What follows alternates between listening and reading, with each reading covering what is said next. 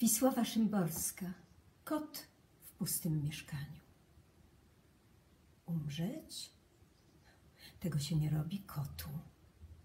Bo co ma począć kot w pustym mieszkaniu? Wdrapywać się na ściany?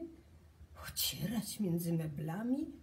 No, niby nic tu nie zmienione, a jednak pozamieniane.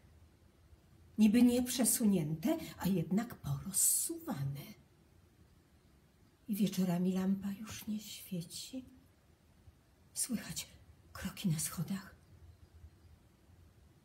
Ale to nie te. Ręka, co kładzie rybę na talerzyk, także nie ta, co kładła. Coś tu się nie zaczyna o zwykłej porze. Coś tu się nie odbywa, jak powinno. Ktoś tutaj był i był, potem nagle zniknął i uporczywie go nie ma. Do wszystkich szaf się zajrzało, przez półki przebiegło, wcisnęło pod dywan i sprawdziło.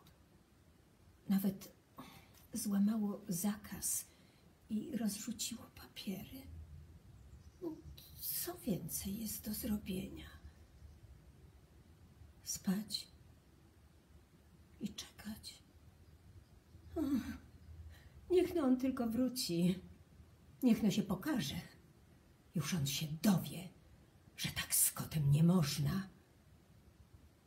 Będzie się szło w jego stronę, jakby się wcale nie chciało. Pomalutku, na bardzo obrażonych łapach.